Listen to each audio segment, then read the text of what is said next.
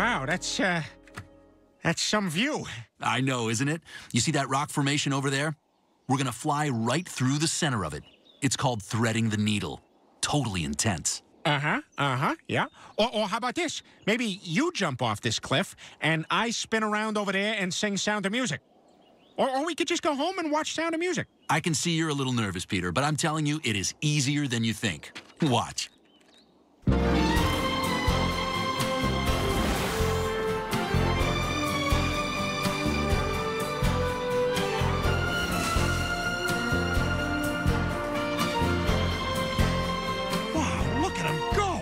You know, just when I thought he couldn't get any cooler, he blows. holy Oh my god! Oh my god! Oh, what, what?